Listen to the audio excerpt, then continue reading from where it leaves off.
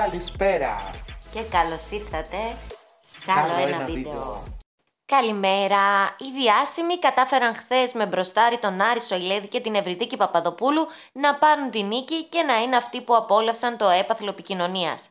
Να πω λίγο κάτι πάνω σε αυτό με την αλλαγή που έχει γίνει πλέον στο σύστημα των παιχνιδιών. Πρώτα παίζουν οι γυναίκες και έπειτα οι άντρες. Και σχεδόν πάντα βλέπουμε να καταλήγουν στο flag race. Αυτό το σύστημα ξεκάθαρα ευνοεί την ομάδα των διασύμων.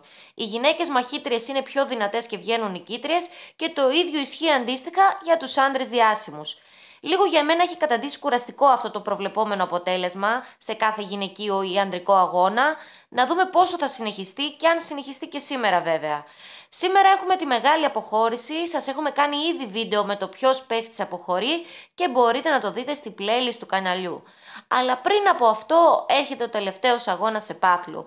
Τόλι, πες μας ποια ομάδα κερδίζεις σήμερα;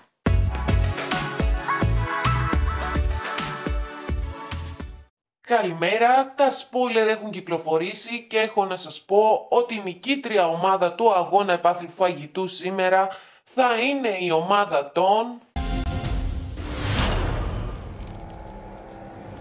Οι διάσημοι συνεχίζουν τις νίκες τους οι διάσημοι και θα πανηγυρίσουν άλλη μία νίκη. Οι νικητές γνωρίζουν άλλη μία φορά την ήττα και όχι μόνο αυτό θα αναγκαστούν έπειτα να πάνε στο συμβούλιο όπου άλλος ένας παίκτης από την ομάδα τους θα τους αποχαιρετήσει. Διάσημοι λοιπόν και πάλι παιδιά και ήττα για τους μαχητές. Αυτά λοιπόν φίλοι μας, μην χάσατε το βράδυ το νέο επεισόδιο που έχει φυσικά και την αποχώρηση από την ομάδα των μαχητών. Μην ξεχάσετε να κάνετε εγγραφή στο κανάλι μας να μην χάνετε τα νέα μας βίντεο. Από εμένα και τον Τόλι, καλή, συνέχεια.